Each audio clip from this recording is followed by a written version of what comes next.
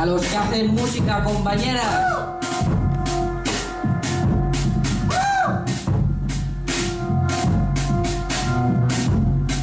Los pulmones detrás del tiempo, tosiendo, usados como gaita. Escenas macabras en una caja de galletas con planetarios en su interior. El tormento de una niña que gira cuesta arriba dentro de un neumático a través de las montañas invertidas. Y en el funeral de Man Ray, los surrealistas en procesión saltan suspendidos en el tiempo, como en una luna estallada con dinamita o whisky, y recogida a trozos con pinzas de cangrejo.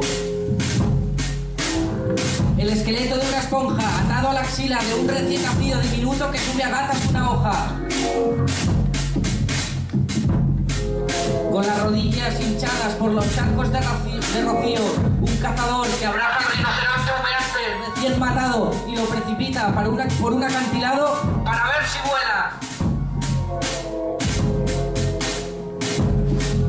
Unos ladrillos infestados de termitas se lanzan al río con la esperanza de que las termitas agujereen el agua.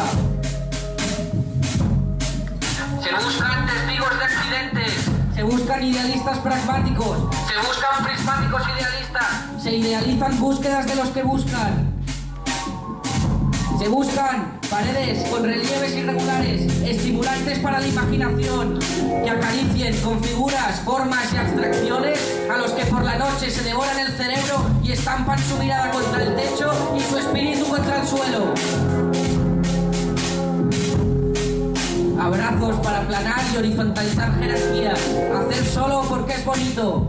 Rocas con pancartas en una manifestación milenaria. Relojes de horas astrosas. Megáfonos que amplifiquen el sonido del aire. Llamadas de teléfono en las que se respire y se oiga respirar. Aplausos y celebraciones al tirarse un pedo.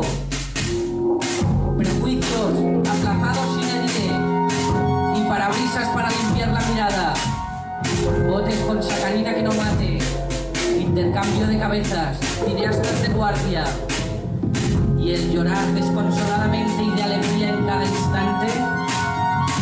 Por ver cómo todo fluye, nace y muere y transita. Y no volverá a ser así. Al menos hasta el instante siguiente. ¿Me compra un ramo, señor? Con el perfume me basta y las banderas, la basura y la mierda huelen peor.